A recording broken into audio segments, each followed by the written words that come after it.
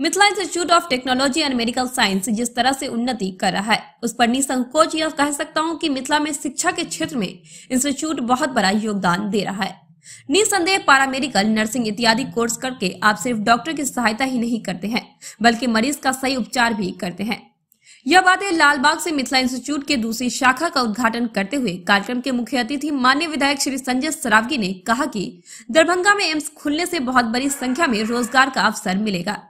मुझे मिथिला इंस्टीट्यूट से पूरी आशा है कि संख्या के साथ साथ गुणवत्तापूर्ण पैरामेडिकल नर्सिंग छात्र उत्तर बिहार को देने का कार्य करेगा।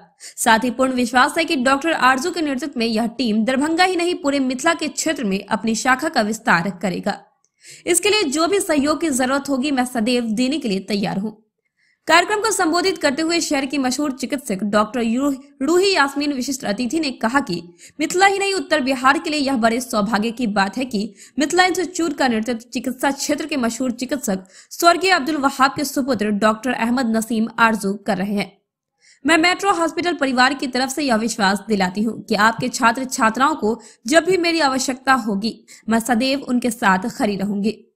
इस ऑस्पिशियल डे पे इतने अच्छे कॉलेज का इनोग्रेशन किया जा रहा है, जहाँ से हमारे पारा मेडिकल स्टाफ नर्सेज बहुत स्किल्ड यहाँ से ये लोग प्रोवाइड करेंगे, जो हमारे हॉस्पिटल को, और बहुत ही अच्छे अच्छे हॉस्पिटल को जो संभालेंगे ये मेन पिलर होते हैं। किसी भी हॉस्पिटल के इन्हीं की वजह से कोई हॉस्पिटल फिफ्टी परसेंट ही अपने हॉस्पिटल को यही लोग देते हैं। जो बहुत ही डिसिप्लिन होते हैं, बहुत ही स्किल्ड होते हैं तो मुझे बहुत खुशी है कि आप लोग यहाँ से अच्छे से अपना एजुकेशन ले और जितना यहाँ से दिया जाए प्लीज़ उसे एक्सेप्ट करने का, उसे ग्रहण करने का, उसे सीखने का, अच्छे से लर्न करने का कोशिश करें। उद्घाटन के अवसर पर मंच पर उपस्थित डॉक्टर पी एन आरज़ू साहब अल हिलाल हॉस्पिटल के जो निदेशक हैं।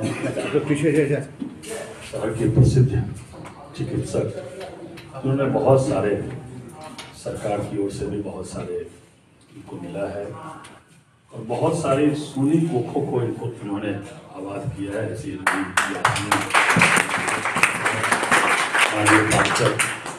लीला देवी जी उन्होंने मुझे आमंत्रित किया है साहिब साहब उपस्थित।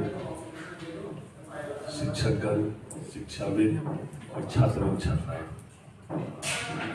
आज Mithila institute of technology and medical science के दूसरे प्रोमिस के उद्घाटन का अवसर है। मेरी बहुत बहुत शुभकामना है। इन्होंने सौ ये तो बहुत छोटा है, जितना आपने कहा है, ये बड़ा हॉस्पिटल जैसा एक बड़ा प्रोसेस होना चाहिए। और हम आशा करते हैं कि आप तरक्की करके ज़रूर बड़ा जो है दरभंगा को पारा मेडिकल स्टाफ का इंस्टीट्यूट है और स्वास्थ्य का बैकबोन जो है पारा मेडिकल स्टाफ की है। चाहे वो ए एन एम चाहे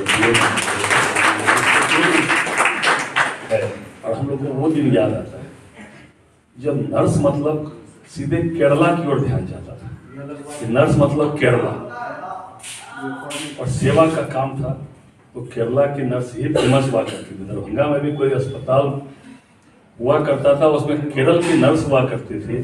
तो ध्यान जाते थे, ये नर्स अच्छी होगी, सेवा भाव इनमें जो है, बहुत अच्छा होगा। और अब तो बड़ी संख्या में अपने यहाँ इंस्टीट्यूट खुल गए, बहुत सारे इसमें पारा मेडिकल स्टाफ बहुत सारा बन गया। और सरकार की भी वैकेंसी बहुत निकल रही है। स्वास्थ्य के क्षेत्र में बड़ा काम हो रहा है।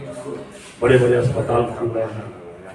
सरकारी अस्पताल भी खुल रहे हैं और निजी अस्पताल भी खुल रहे हैं। वहाँ पैरामेडिकल स्टाफों की ज़रूरत नहीं होती है।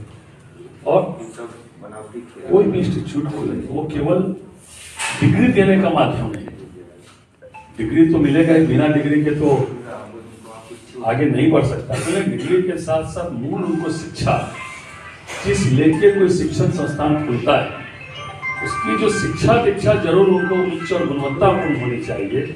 जो डिग्री के साथ साथ उनको जो है कार्य अनुभव भी हो, कार्य अनुभव के साथ जितने नॉर्म्स सरकार के द्वारा इन इंस्टीट्यूटों को नॉर्म्स का ज़रूर पालन हो, तभी हम क्वालिटी जो है क्वांटिटी तो हम बेहतर कर देंगे, बना देंगे।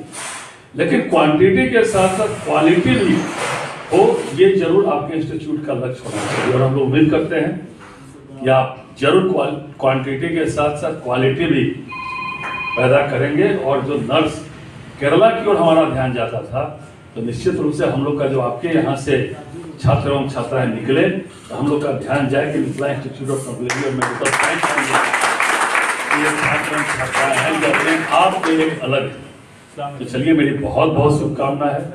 आपका ये संस्थान आगे बढ़े, आप दूसरा प्रोमिसेस चालू किए हैं। और ये डिम मुझे बताया हम आरज़ू साहब से पूछ रहे भाई, इतना छोटा में कैसे चले बोले नहीं डिम है तो इसको ऑनलाइन वगैरह पढ़ाई होती होगी। तो बड़ा एकदम आप संस्था बनाइए। जहाँ सरकारी नॉर्म्स के हिसाब से जो एक डेढ़ एकड़ की ज़रूरत पड़ती है वैसा आप ज़मीन लेके प्रेमिसेस लेके बनाइए बढ़िया इंस्टीट्यूट बनाइए।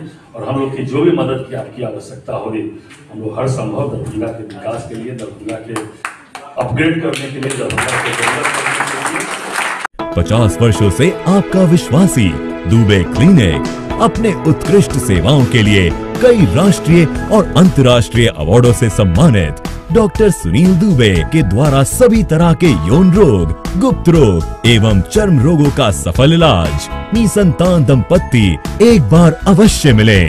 दुबे क्लिनिक, सुभाष मार्केट लंगर टोली चौराहा, पटना।